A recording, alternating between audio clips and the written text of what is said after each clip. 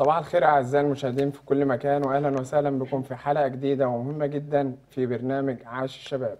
عاش الشباب بإصراره وتحدياته عاش الشباب بأعماله وإنجازاته عاش الشباب بأحلامه وطموحاته. مشاهدينا الكرام في بداية حلقتنا النهاردة خلونا أرحب بزملائي في الاستوديو وامل حفناوي إسلام نادي مروة الحسيني. صباح الخير عليكم يا شباب. صباح الخير يا عبد الرحمن. صباح الخير عليكم يا شباب وصباح الخير على السادة المشاهدين. بنرحب بيكم النهارده في حلقتنا اللي هتكون مليانة موضوعات مهمة وكتيرة جدا تنا- تهمكم ونحب إن إحنا نتكلم فيها معاكم. هيكون معانا في الفقرة الأولى آه، موضوع يخص الشباب والوظائف وإزاي يقدروا يعملوا CV كويس. آه، وده اللي هنعرفه من خلال ضيفنا الأستاذ أحمد عبد اللطيف صاحب مبادرة CV for career أما الفقرة الثانية هيكون معانا مروة وإسلام؟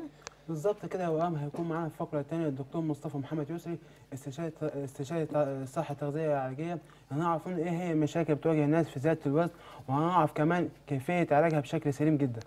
أكيد الموضوعات اللي هنتكلم فيها النهارده مع حضراتكم بتهم فئة كبيرة جدا من الشباب اللي عايز يوصل لحلمه سواء كان حلمه ده وظيفة أو وزن مثالي.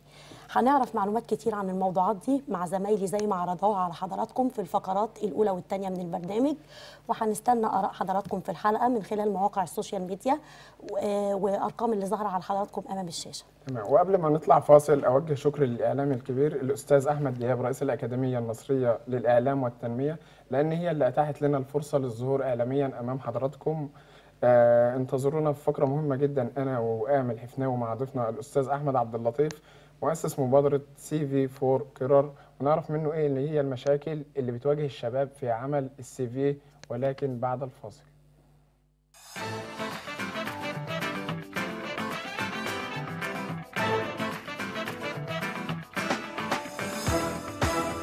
عاش الشباب اللي بيح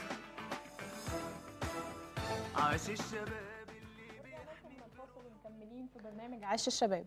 كتير من الشباب بيواجه تحديات وصعوبات. كتير بيحلم إنه يحقق أحلامه وطموحاته ويوصل للمستقبل اللي بيتمناه أي شاب. بس في ناس كتير بتبقى مش عارفة تبدأ منين وإزاي تعمل CV كويس وإزاي تقدر تتوظف في مكان يستحق قدرتها ده اللي هنعرفه النهارده من خلال ضيفنا الأستاذ أحمد عبد اللطيف صاحب مبادرة CV for career واللي هيكلمنا أكتر عن الموضوع ده. بنرحب بحضرتك معانا يا فندم. أهلا بيكم طبعا وبرحب بيكم ومبسوط جدا إن أنا معاكم النهارده في برنامج آه، في قناة الصحة والجمال. أهلا أستاذ أحمد. أستاذ أحمد حضرتك في البداية مؤسس آه، مبادرة CV for career اللي أطلقتها في 2019 عاوزين نعرف من حضرتك في البداية إحنا والسادة المشاهدين فكرة المبادرة بدأتها إزاي؟ آه، فكرة المبادرة بدأتها لما كنت بشوف دايما على الفيسبوك وعلى مواقع التواصل الاجتماعي. آه ناس كتير جدا محتاجة حتة ال CV سواء عشان يقدموا للشغل أو يقدموا لتدريب صيفي أو يقدموا ل training أو أي حاجة. تمام. فدايما بتكون البداية عندنا هي حتة ال CV عشان يبدأ يتواصل بيه مع الشركات. تمام. تمام. فكنت بشوف ده بشكل كبير جدا منتشر ناس عايزة CV وناس عايزة تقدم وحاجات زي كده. أنا فكنت- حضرتك آه تمام. كنت شايف إن الموضوع صعب يعني بالظبط. آه تمام. كان في مشكلة كبيرة جدا في تمام. الموضوع ده. فكنت بحاول دايما من خلال ال account الشخصي بتاعي إن أنا أحاول أساعد الناس آه، يعمل CV أقيمه له أقول له الأخطاء بتاعته الحاجات دي كلها. تمام. آه فبصراحة حسيت إن الموضوع فيه استجابة كبيرة جدا آه والناس فعلا محتاجة موضوع زي دوت والناس فعلا بتكلمني كتير جدا عشان إن أنا أساعدهم في الموضوع ده. تمام. لأن في ناس كتير طبعا ما تعرفش يعني إيه CV أصلا. بالظبط. يعني. آه بالظبط. آه فبحكم إن أنا بدرس business administration ودرست ال HR واشتغلت شوية فيه فعارف إيه هي المواصفات بتاعه ال CV وإزاي ال CV يكون professional وإزاي لأ. فلقيت في ناس كتير فعلا محتاجين حتة موضوع ال CV دوت وناس كتير بتبعت لي فقلت ليه ما نكبرش الموضوع ونساعد ناس أكتر ونخليها مبادرة. وعشان كده عملت CV for career تمام. طيب هو في حد ساعد حضرتك في الفكرة ولا هي الفكرة جت من من خلال المتابعة ال account الفيسبوك وكده؟ والله هو أنا من خلال إن أنا آه، بدأ حتة العرض شوية يزيد يعني بدأت الناس بتكلمني كتير وأنا مطلوب مني إن أنا أرد على الناس دي كلها. فلا فلما جيت بدأت عملت مبادرة كنت طبعا في الأول لوحدي. تمام. بعد كده آه، بقى معايا team ناس بتساعدني وهكذا يعني. تمام. طب هدف حضرتك منها إيه؟ آه هدفي من مبادرة CV for career آه إن أنا أساعد مليون شخص إن هم أول حاجة يعملوا ال CV بتاعهم بشكل صحيح. تمام. تاني حاجة نأهلهم لمهارات سوق العمل. أنت تساعد تالت- الناس تا- تمام تمام. آه إن إحنا نأهلهم لمهارات سوق العمل. تالت حاجة كمان إن هم يلاقوا الوظيفة المناسبة ليهم يعني من أول ال CV تمام. تتأهل للمهارات بتاعت سوق العمل وكمان تلاقي الوظيفة المناسبة ليك. تمام. طيب بيبقى في مواصفات معينة لحد حابب يعمل CV إيه المواصفات دي؟ حضرتك ممكن تكلمنا عنها. آه بالظبط. هو ال CV عامة آه، المواصفات بتاعته يعني أغلب الناس عارفينها ولكن الفكرة إن إحنا بنقع في أخطاء في ال CV. فال CV أهم حاجة فيه إن هو يكون منظم يكون الشخص يعمله بنفسه ما يستعينش مثلا بموقع أو حد صاحبه يعمله له. الحاجات دي كلها طبعا أخطاء كبيرة جدا. اعتمد على نفسه. آه بالظبط. تمام. آه ما استخدمش ألوان كتير في ال CV. آه ما اكتبش حاجات أنا ما حققتهاش. آه ما اجيبش حاجات مثلا من على جوجل واحطها في ال CV عشان أزوده لسه أو أقول في ناس بتاخد ال CV copy paste وتقوم عاملاه آه لكذا شخص طبعا ده يعني ال HR بيعرفوا الكلام ده من أول نظرة يعني في ال CV. طبعا بتفرق آه، لل- للجهة اللي هو مقدم لها ال CV آه طبعا بالظبط. يعني تمام. لما بنشوف حد فعلا بنحس إن هو آه واخد الحاجات دي من على جوجل أو الحاجات دي متكررة أو كده. فلا بتبقى من نقطة مش في صالحه يعني. طب حضرتك إيه الفرق بين ال CV وال resume آه ال CV وال resume وده يعني سؤال حلو جدا لأن في ناس كتير فعلا ما تعرفش إيه هو. آه ال CV. وال resume آه غالبا إحنا كلنا في الفئة اللي هي بتاعة الطلبة والناس اللي هم لسه متخرجين إحنا بنعمل حاجة اسمها resume مش CV. بس هي للأسف CV هي الكلمة الشائعة عندنا.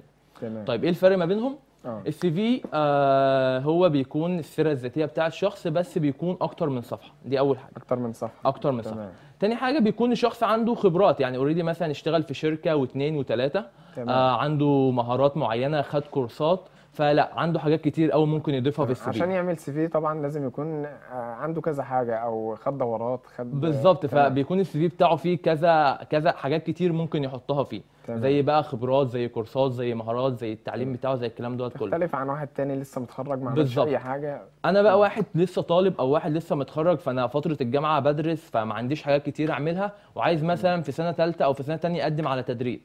فهعمل إيه؟ فلا فبعمل حاجة بقى اسمها resume ده الحاجة المختصرة بتاعت ال CV النسخة المختصرة منه.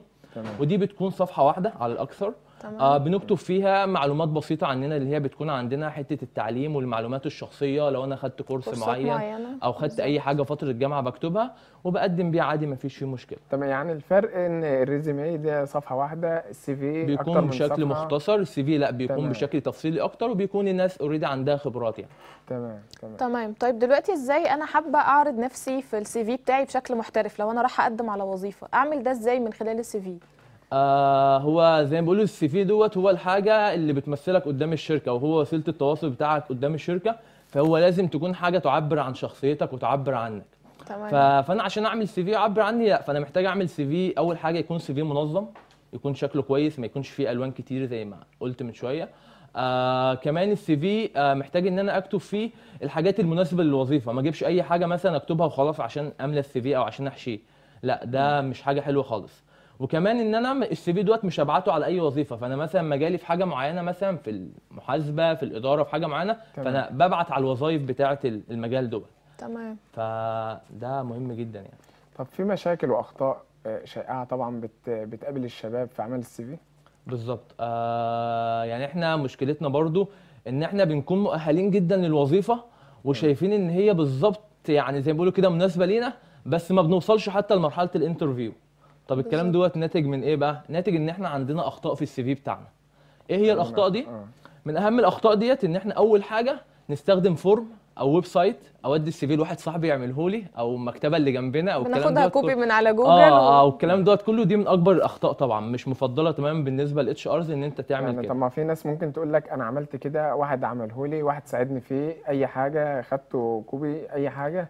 و- واشتغلت. ده نسبة قليلة جدا من اللي بيحصل معاه كده. ده يعني by luck وبتبقى مثلا مش في مؤسسة كبيرة.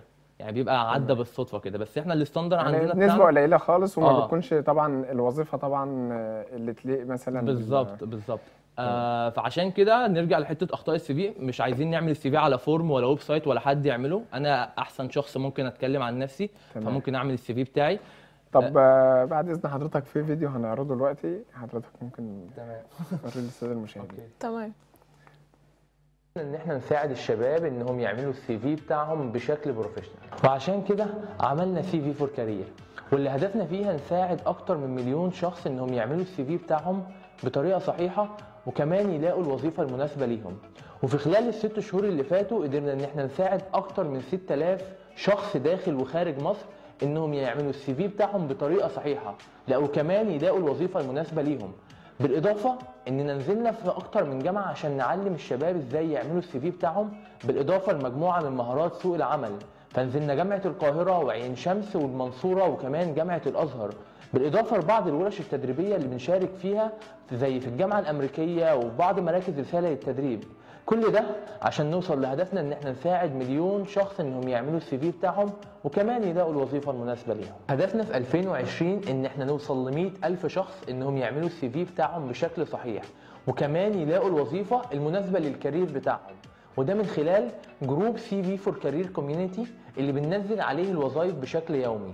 ولو أنت شخص أو مؤسسة أو حتى نشاط طلابي تقدروا تتواصلوا معانا من خلال ال page CV for career أو من خلال الواتساب. انتظرونا في 2020 وما تنسوش تعملوا like و share للمبادرة و like و share للفيديو عشان نوصل لناس أكتر ونساعد ناس. تمام. إحنا بعد ما شفنا الفيديو ده عايزين نعرف تعليق حضرتك عليه إيه وايه الحاجات المبادرة حضرتك شايف انك حققتها بالفعل اول ما بدأت فيها؟ والله هو ده بالظبط كده حصاد 2019 يعني حصاد تمام. الفترة اللي إحنا من أول ما بدأنا فيها لحد النهارده. هو ده الحاجات اللي إحنا 6 2019 بالظبط كده. هي مدة صغيرة بس حققت نجاح آه، كبير الحمد ما لله شاء يعني الله. هي كان فيها تعب كتير بس الحمد بالظبط. لله ربنا كرمنا ان إحنا زي ما أنا قلت كده في الفيديو. آه النهارده واصلين إن إحنا مساعدين أكتر من 6000 شخص داخل وخارج مصر إن هم يقيموا ال CV بتاعهم أو يعملوه من الصفر. آه في ناس كمان منهم اللي already اشتغلت بعد ما يعملوا ال CV بتاعهم. تمام. آه كمان بشكل offline آه، بننزل عملنا ورش تقريبا ساعدنا أكتر من 1500 شخص. آه عن طريق الدورات اللي بننزل نديها سواء في جامعات سواء في مراكز تدريب آه سواء في الحاجات دي كلها. آه في مهارات بقى ال CV ال interview skills مهارات سوق العمل كلها. آه بس وهدفنا إن شاء الله الفترة الجاية إن إحنا نكمل يعني بإذن إن الله. شاء الله الموضوع يتطور أكتر بإذن الله. تمام. بإذن الله تمام. تمام. إحنا دلوقتي عايزين نسأل حضرتك على رسالة حضرتك حابب توجهها للشباب وخطتك إيه الفترة الجاية؟ آه أول حاجة يعني آه، أنا حابب أشكر والدي ووالدتي دي أول حاجة. آه هم- بنوجه لهم الشكر من آه، خلال البرنامج طبعا آه هم طبعا اللي ساعدوني. حتة فكرة العطاء أو فكرة التطوع دي هم اللي ربوني عليها فطبعا بشكرهم يعني ربنا يخليهم يا رب. يا رب. آه بوجه رسالة لنفسي قبل ما أوجه رسالة للشباب. آه خليك دايما فاكر آه إن أنت تسعى أو ما تكسلش إن أنت تسعى لحاجة معينة. ربنا مش طالب منك نتائج ربنا مش طالب منك أي حاجة غير إن أنت تسعى بس في حاجة معينة. تسعى إن أنت تشتغل آه تسعى إن أنت تتطور تسعى إن أنت تتعلم. يعني. بالظبط.